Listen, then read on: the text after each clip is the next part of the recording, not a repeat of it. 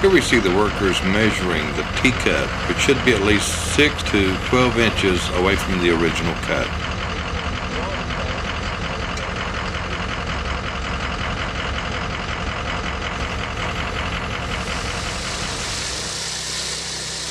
Next, the worker cuts out the T-cut.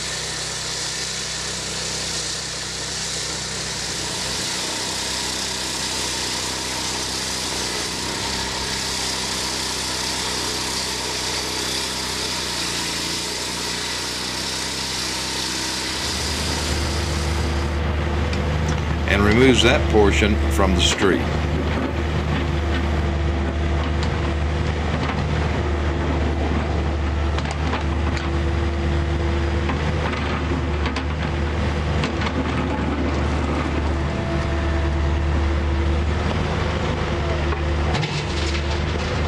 The worker also removes between 6 to 12 inches of the compacted rock that was placed there by the construction crew.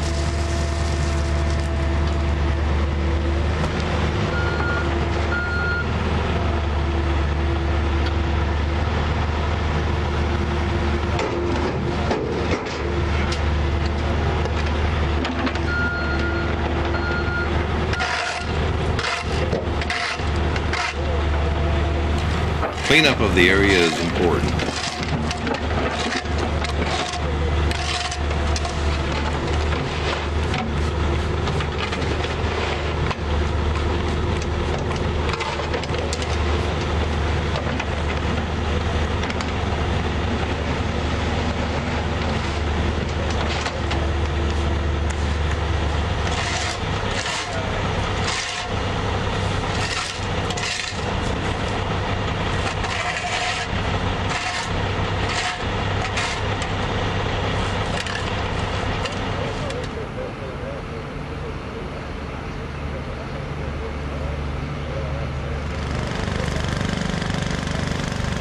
Next, a tacky glue is sprayed on the area for better bonding between the two surfaces.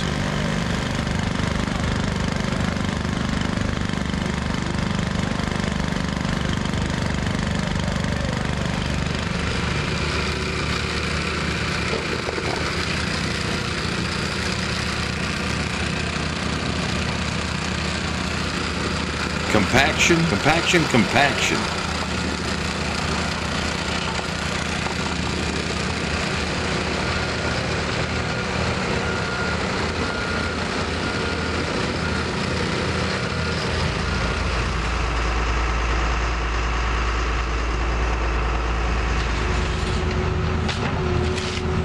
Now the crew will install about a 4 inch layer of asphalt into the original cut.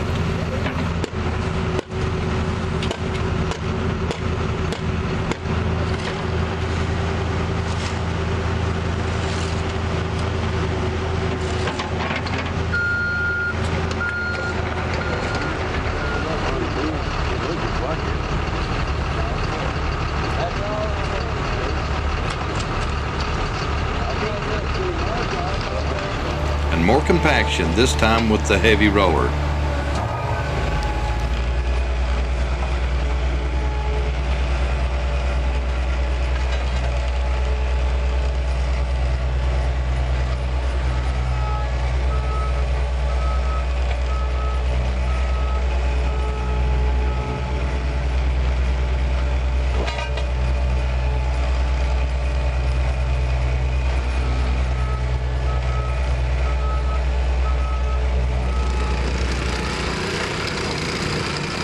More compaction with the handheld unit to get into spaces that the big roller could not.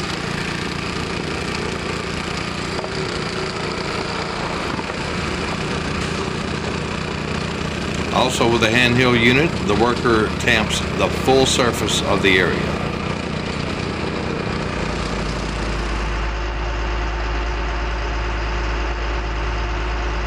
Another layer of asphalt.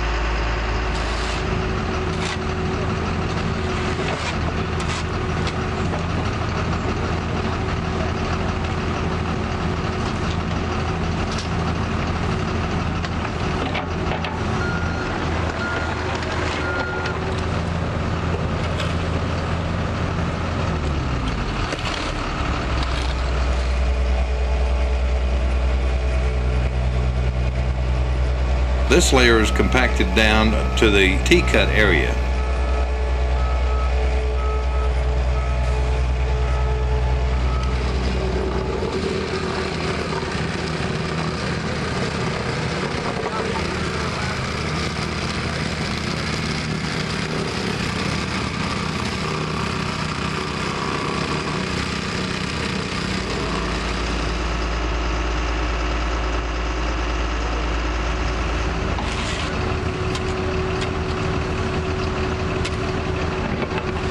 Another layer of asphalt takes it to the road surface.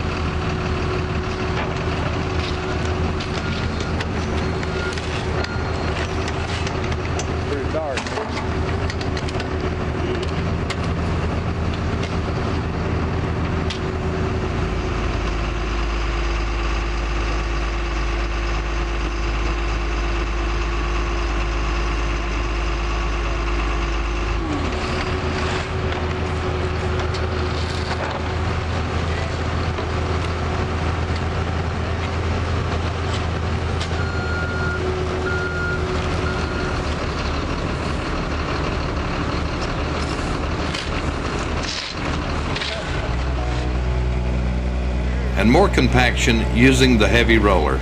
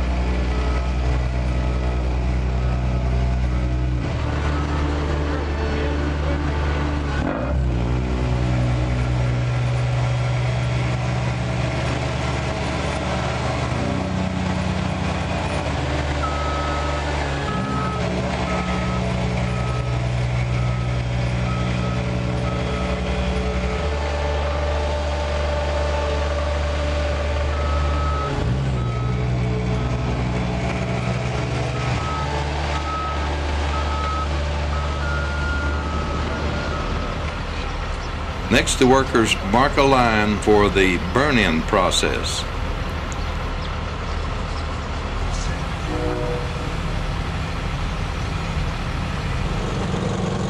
In this step, the workers actually burn in the layer of asphalt applied and also the old street cut. This allows for a melding of the two surface areas.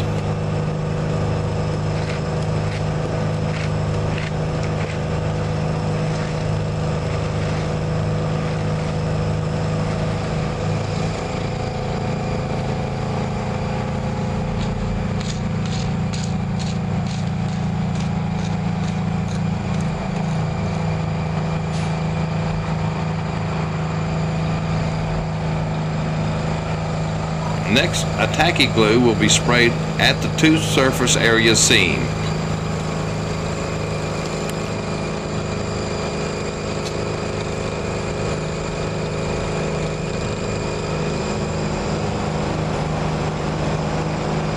This process is repeated around the patch area.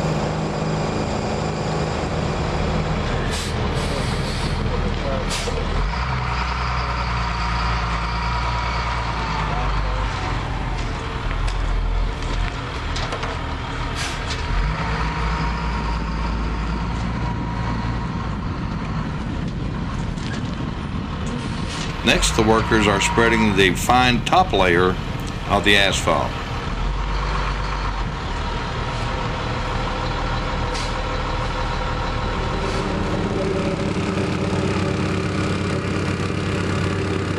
This area is compacted to match the level of the original road surface.